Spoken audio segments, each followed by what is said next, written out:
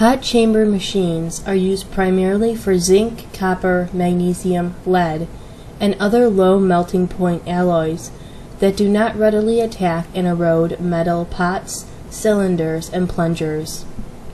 The injection mechanism of a hot chamber machine is immersed in the molten metal bath of a metal holding furnace.